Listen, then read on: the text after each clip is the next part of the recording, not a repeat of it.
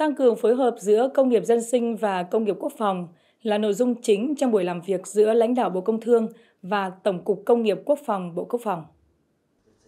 Tại buổi làm việc, lãnh đạo hai bên cùng các đơn vị chức năng đã tập trung thảo luận, đánh giá về tình hình công nghiệp lưỡng dụng, phục vụ dân sinh và quốc phòng thời gian qua, trao đổi về khả năng hợp tác giữa các đơn vị, doanh nghiệp trong việc thực hiện các chương trình, cơ chế chính sách có liên quan thời gian tới, bàn các nhiệm vụ, giải pháp cần thực hiện, thúc đẩy công nghiệp quốc phòng gắn với công nghiệp nền tảng của đất nước để phát triển mạnh mẽ hơn theo hướng hiện đại, đáp ứng yêu cầu, nhiệm vụ bảo vệ Tổ quốc và phát triển kinh tế xã hội trong tình hình mới. Thông qua sự kiện này đã giúp cho Bộ Công Thương và Bộ Quốc phòng nắm bắt rõ nhu cầu cũng như định hướng phát triển trong thời gian tới, từ đó thống nhất nhận thức và hành động, tổ chức thực hiện có hiệu quả các nhiệm vụ, giải pháp thúc đẩy ngành công nghiệp Việt Nam phát triển theo hướng lưỡng dụng, hiện đại, tự lực, tự cường, tham gia tích cực vào quá trình công nghiệp hóa, hiện đại hóa đất nước.